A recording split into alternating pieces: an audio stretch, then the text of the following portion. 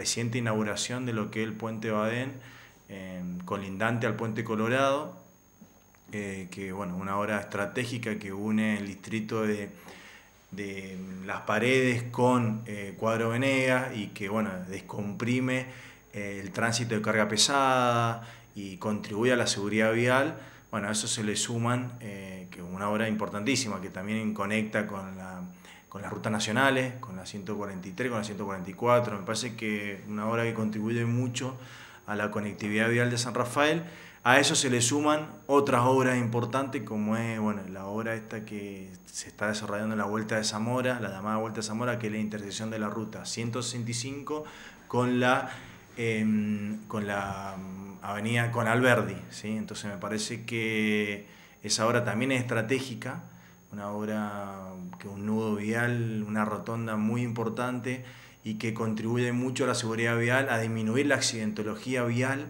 y que ya está esta obra al 92%, se va a inaugurar en abril, así que bueno, esperemos que, que, se pueda valorar y se pueda poner en valor para todos los, ciudadanos sanrafalinos.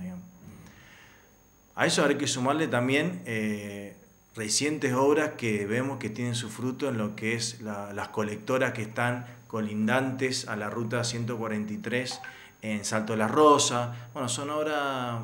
que hacía 35 años se demandaban y que no se habían realizado. Se está por inaugurar lo que es el, Centro de Salud de Salto de la Rosa, importantísimo, ya está listo, están esperando bueno, lo que es el equipamiento. Eh, la puesta a punto, digamos, para, poder, digamos, terminarlo. Eh, pero bueno, sí, va, visitando el gobernador y creo que, bueno, la federalización de la obra pública en materia, en, teniendo la dirección que le ha dado el gobierno provincial en materia de obra pública a, la obra pública que van hacia los departamentos es muy importante, digamos, no se ha quedado en el centro, no se quedan, digamos, sino en brindar mejores servicios en los distritos y eso me parece que es una distinción que ha tenido este gobierno provincial pensando en muchas obras para los distritos y obras que queden eh, y que duren durante mucho tiempo, que trasciendan a un gobierno. Y me parece que eso ha elevado la calidad de la, de la gestión.